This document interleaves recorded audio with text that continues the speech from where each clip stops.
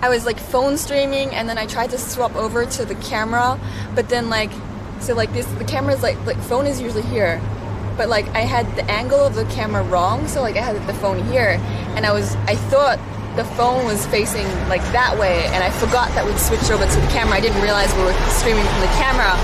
And then I got in a bathtub and I was like completely naked and having a bath and washing myself.